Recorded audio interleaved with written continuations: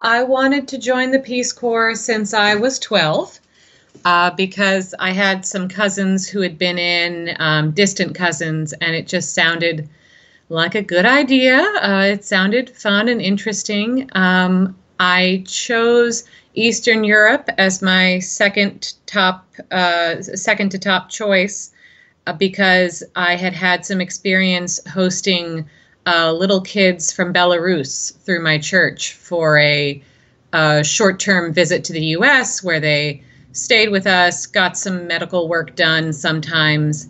And I had learned a few phrases in Russian, so I thought that could be fun. And uh, it turns out everyone speaks Spanish and everyone learns Spanish, so Latin America was a little too uh, popular of a choice for them to put me there uh, and they wanted me to speak uh, to teach English. So uh, Eastern Europe turned out to be the best choice. And uh, out of that, I was hoping Ukraine because I thought it would be sort of neat to learn Russian. But of course, I ended up learning Ukrainian, uh, which is less of a bankable skill. Well, I knew I, I liked traveling and I knew I liked volunteering and particularly working with kids and teaching, um, which is something I'm uh, that I've done at different times with different programs. And uh, I, I, think I just probably my reasoning was that I wanted to sort of force myself into the habit of being useful, if that's possible. And uh, it sort of is because in Peace Corps you really you have no other purpose than to figure out what projects you should do, what person you should talk to, what to try next and you're constantly talking to each other about it and you're just kind of obsessed. Um, and it's actually much much easier to you know find useful uh, things to do than when you're balancing a real job or or something like that with the rest of your life. Um, so I, I highly recommend it. It's fulfilling. It's different. Um, i would say there's still a lot of luck associated with it in that you don't know what town you're going to be sent to, uh, what the people will be like. But if you luck out like I did, it can be a really, really great experience. I lived in a pretty small town, I would say a slightly more rural environment than a lot of the other volunteers in Ukraine lived in. Um, although I did have sort of running water and I had electricity uh, which not everyone has, but it, it is the norm there. And uh, a, lo- a lot of volunteers end up living in cities in Ukraine because there are so many cities. And there are often older volunteers who end up going to Ukraine because, uh, in terms of mobility issues or language learning uh, difficulty, it might be easier if they end up in a city where there are more people who speak English and who can help them. There's more public transportation. But uh, I was in a pretty small town, maybe several thousand people, two main roads, and uh, there, there was you just had to walk everywhere, and there wouldn't have really been a reason to do anything else because it is pretty small. I like to think I'm smarter about some things. Uh, that maybe I picked up something about, you know, how different cultures are or how different people are. Um, oh, I was thinking of something. I, I, I did learn uh, to be on my own much more, um, which is definitely not going to be every Peace Corps volunteer's experience because sometimes, you know, there are some villages where you just don't have any privacy. Um, I've read a lot of essays by different volunteers from different countries, and I actually have a lot of friends who were in a lot of different countries uh, all around the world, and uh, everyone has a different experience. But then there are some uh, pretty universal things about it, and probably even if you do have very little time to yourself, you you do uh, have to sort of learn to be alone as the only American or as someone who's just far from your friends and family. And I learned I was not nearly as dependent on um, having roommates or having people around as I had suspected I I would be. Um, but you know, at the same time, you I, I don't know. I, I hope I learned something, but you mostly, like I said, uh, hopefully end up with people who treat you like family and who are willing to help you, even though you're totally helpless and have no idea what's going on or how to speak the language. And uh, you end up with those those ties. Hi there, I can relate. Uh, I started my own NGO when I was uh, just turned 23 and I moved to Vietnam. And um, it'll actually be 10 years tomorrow that I've been in Vietnam. So, pretty exciting. And as I've said to many other people, it's very challenging. It's been a very up and down decade. You see lots of challenges, and you get to have great moments as well. Um, and sometimes it's the very little things that you notice that are the biggest motivators. Working in this sector isn't always.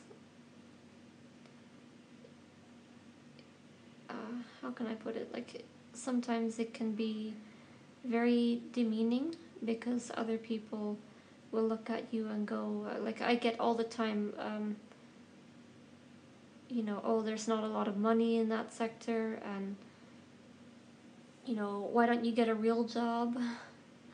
And all kinds of other negativity. And I think, you know, if I were a school teacher, you would never dare and say those things. So I do the same kind of thing. And I don't understand why people's attitudes are what they are. But anyway, uh, in terms of the other things, like when I first moved here, no one like you never saw anybody with a cane out on the road. The only visually impaired people you'd see were at the market begging, or, for example, there was a man with no legs, and his wife used to go out with him, and he would beg for money and after he'd give it to his wife who was wearing this you know these beautiful clothes jewelry whatever and it was you know that was what you really saw of people with disabilities. And there was one student one blind student in the whole of Hue um, who was attending university. And he was the first student to attend university. He was a law student. Now there are about 16 students who have been through and graduated from Hue University. You know, uh, students with visual impairments. You see the occasional person in central Vietnam going out with their white cane. And you see several in Ho Chi Minh City out and about with their canes, and the people are getting more and more understanding of just how much a person with a disability can do.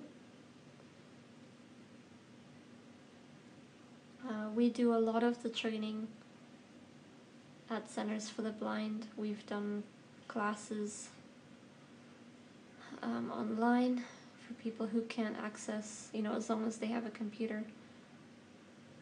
You know, for people who can't access uh, a school or who can't afford classes. We make braille material and other material if there's a child with autism or you know some other things we try and help with that as well. We provide a lot of equipment. And um, you know other things as well. And last year we began working with a school in africa. And uh, it's in a country where there's very little very little uh, outside support because it's a country with a lot of conflict. And even getting equipment to that school is very tricky because there's no post office that works. And the only way to really do so is get um, somebody to take the equipment for us. But due to conflict, now that's kind of off limits as well because the people involved are being targeted. And one of them, I don't think, is going, the person who was taking the equipment, I think, is changing countries. He was uh, working for the UN. So, you know, the challenges never stop, and you always have to find ways to do things that might seem impossible sometimes. You really have to put your mind to it and think. And as a foreigner, I sometimes get uh, the other thing, you know, well, you're a foreigner, blah, blah, blah, you don't understand. And actually, I've been in Vietnam 10 years. I speak Vietnamese fluently. I know plenty of Vietnamese. I live in a very rural area, uh, you know, most of the time. So you bet I know what it's like. You bet I know what they need. And I think people assume sometimes that you don't, you know, that you don't know as much as you do. And the other thing, you know, being a very small woman who also can't see can be a huge obstacle sometimes in getting things done. Because, for example, I've been to some schools and they just don't want to listen to what I have to say, even if it's a school for the blind. Um, they don't want uh, they don't want to listen, or they just assume that I can't really do as much as I can, or they don't think I can do as much as I can. So you always have to work against uh, those barriers as well. And you know, there's so much there's so much involved in running a in running an overseas organization. People don't always always uh, see the whole picture, and sometimes they think you're just on a beach having fun when it's not the case at all. I think I mentioned on here earlier that I don't have a I don't have cooking facilities when I'm in Vietnam. And somebody said, "How do you how do you go about it then?" And I said, "Well, you know, for 7 years I just bought street food." You know, until I was in Europe and I could uh, I had the opportunity to cook. And I had everything that I needed to cook, but you know, there are several challenges you deal with and you know, our power gets cut off, the internet doesn't work, the electricity gets cut off, sometimes all day. Um, when I was at the Africa Forum in Uganda in 2015, I remember the power went off one day, well, a few days actually, from about 5 in the morning until 9 at night. And I was staying at a guest house for the majority of the time, and they wouldn't switch their generator on unless there was a football game. So during the football games, you you had electricity for a few hours, and then they'd turn the generator off again. So, you know, and when the generator went, you had nothing. You had no uh, no fan to keep the mosquitoes off. No, uh, no nothing. And I got really sick when I was there and ended up in hospital. So, um, yeah, you just have a lot of challenges. But I wouldn't regret going into this field at all. You know, I've learned so much from it, and I've met so many people through doing this that I wouldn't have met otherwise. So I totally, totally found it worthwhile, and I've grown as a person doing this. Hey there. Wow. Well, I am humbled by these these ambitious answers of uh, of volunteering and setting up an NGO. Wow, like that's uh, that's very impressive. I uh, I guess for for me, I did the university thing, got an English degree, quickly learned that that didn't really count for much. Really didn't have it in me to go for much else in terms of a, a larger degree. I, I just I'd done four years. I was just burnt out of school. Figured surely there had to be something I could do, and turned out that jobs were very hard to find, uh, even in in a city in Canada, uh, in central Canada, in Ontario here, in uh, Mississauga, in Toronto area. Um, so I've gradually over the years I uh, I realized like I'm probably going to be on ODSP, which is social assistance uh, in Ontario, uh, and that probably isn't going to change. It took a while for that realization to really sink in. Um, you don't you don't sort of automatically sort of think, oh, this is going to be my lot in life. Uh, it's a, it's a process of discovery, painful discovery often, that uh, it just you're not on anyone's radar, and no one no one really has a use for you, and it can be really, frankly, a destructive process to go through. Uh, the only job I had uh, was for about, I guess, four months ish of, of full time employment. I mean, and that was at a, internet startup company that the dot com crash kind of took care of, uh, and everyone lost their job uh, I had to just go back on ODSP, and and that was after two, more than two years of doing everything you're supposed to, you know, sending resumes, all that kind of, you know, uh, mock interviews. I did the whole shebang. I all the employment stuff that they put you through, the testing, the everything. I jumped through all the hoops. So I figured, okay, this is not getting me anywhere. I can do this till I'm blue in the face and not have anything to show for it but rejection. There's got to be a better way of spending my time. And then I realized that's what I really have. I don't have a lot of money, but I have tons and tons of time, and that can be a curse as much as a blessing. Uh, people don't realize if if they've never experienced that that end of things, that that kind of marginalization where you can't. I'm not good at getting around. Uh, mobility is not my strong suit. I have well discovered that I had sleep apnea. I, that has probably been plaguing my life for much longer than I really realized it was an issue. Uh, and, and, hearing loss, which has also happened. Uh, so my sleep is, is completely regular. I don't know if I could have frankly maintained a nine to five job. I, I seriously question that, you know, these these days. So I figured, okay, I have all this time.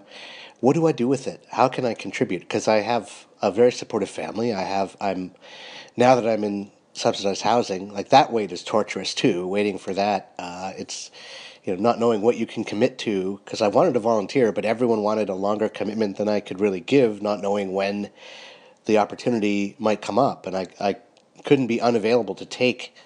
Uh, you know, a spot because it, it, this, is the waiting list is so long that it discourages you from doing anything that might get you off of it if you know, if if that opportunity should come up and you're not ready to to get it.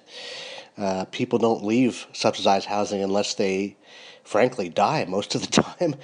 So, yeah, uh, the waiting list is like 10 years uh, in a lot of places, five at a minimum. So, yeah, you don't want to rock the boat. You want to be real careful. I thought, okay, what can I do? And I decided uh, that I had to find ways of of really going about contributing. I continued a magazine I'd started in university called Audyssey, all about accessible games for the blind, and uh, continued to do that. I uh, would volunteer wherever the opportunity came up. Uh, did a lot of stuff online, helping people, and kind of quickly discovered that that was where my strength really lay. I, I did volunteer at the Dam, uh, which is an organization for troubled teens, and uh, found I, I really didn't. I wasn't a good fit there. Like I, I did my two years there as as they wanted, but I, I found if anything I was helping the volunteers, like talking with them about issues and helping them sort out life difficulties more than the kids I was supposed to be helping. So it was. Uh, it was kind of frustrating. Like it, it's if you can't get around that easily, no one will fund you getting to places, and you're stuck in this this situation where it's hard to find a place. Like I would have cheerfully done, you know, a call center work, you know, but uh, there was, you know, there was no way to sort of guarantee get me there and back on a regular basis. Uh, I think a lot of people are sort of stuck in that kind of situation. So I find ways of using my writing skills to help people with mostly technology stuff. I did a guide called Personal Power, all about uh, how to use accessible computers and the internet to enrich your personal life. And now I'm doing one on uh, a version of that for iOS and how to use these iDevices. Uh, which offer a, lot of advantages. Uh, and what I'm finding is is that people get them and they don't realize. No one tells them about voiceover. No one explains all the different things you can do, and history is kind of repeating itself. Uh, people get these wonderful machines and then walk around using maybe a a small fraction of what they could to enrich their lives. So I'm writing a guide that will teach uh, and explain and be that kind of a cross between a manual and a personal friend, an excited personal friend who's made some wonderful discoveries and wants to share that with you. That is the kind of thing that I think a lot of people need to really make the transition to a flat screen device that is nonetheless accessible and use it well and really have an inkling of what they can do with it. I, I couldn't believe the level of ignorance of uh, you know people that have these devices and just didn't know. They thought Siri was what made these things accessible, and so I have set out to write this guide, which will really expose them to a wide, as wide a range as I can of possibilities of what they can do, what it, how it might allow them to pursue their own interests, and that's my latest challenge. I'm hoping to finish the guide uh, in about a year and a bit, um, maybe a year and a half. Uh, I got a friend who's actually volunteered to narrate the thing, so that's great. I'm going to try and make it into a Daisy book and get more people to publish it because uh, it's it, it the last guide I did really it spread all over the place on the on email and internet and helped people who sort of already knew the basics but wanted to learn more, which was great, but not the, the completely new people to the digital realm that I wanted to help. So I'm hoping to do better this time uh, in terms of getting it out there to the people who I think really need it, uh, which is going to be tricky. I'm going to approach Apple, I'm going to approach uh, different places when I have more of it done and to see if I can get some help doing that, getting it out to people. But now, right now, it's it's doing the guide that's the challenge, and figuring out how to explain what is often very obvious to me uh, trying to see that with fresh perspective and you know put myself in that realm. And uh, in the meantime I'm I'm sort of helping beginners and and doing things at, at the same time to sort of get that perspective and and uh, help me write the guide better. So I'm doing a segment on AMI audio at ami.ca on a show called Kelly and Company on Thursdays at 4:15 uh, the show is 3 to 5 Eastern and uh, yeah, it's uh, it's a good spot where I can uh, I sort of give little lectures on iOS. We have discussions on iOS and uh, entertainment that you can find out there, podcast, audio dramas, all that stuff. So pretty wide brief, and uh, yeah, it's it's keeping me in, in trim and, and exposing me to some thankfully good feedback so far, and uh, one of the, the things I'm doing to sort of keep aware of what's happening and, and write the guide better. Done button.